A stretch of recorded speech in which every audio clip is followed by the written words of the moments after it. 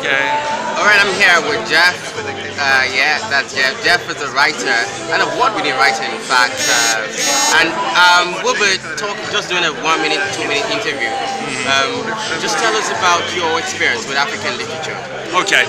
Uh, well, I'm here because there's a new uh, organization been launched uh, for writers and editors and publishers of science fiction, horror fiction, fantasy fiction in Africa, and a new award around that organization. So, uh, and I'm uh, I'm basically walking around Africa. Uh, I'm doing a series of articles called 100 African Writers of Science Fiction. So I'm interviewing 100 African writers of science fiction, uh, and you know, 15 years ago, you probably couldn't say that. No. There's, but there's but this lady here, Chinelo Onwualu, uh.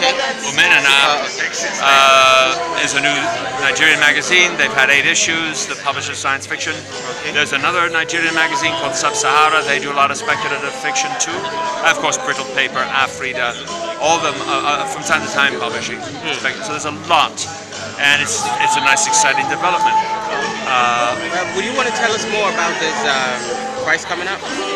Yeah, the prize is called the Nommos. It's got money for four years. Uh, it's for uh, the Tom Ilube Award is because he's the benefactor is for best novel of uh, of speculative fiction by an African.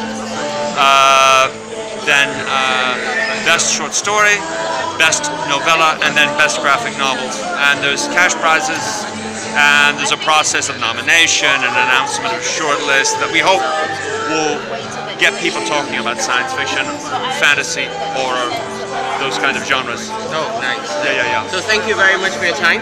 Thank you. Thank you. Thank you. Take Have a care. good day. Thank you.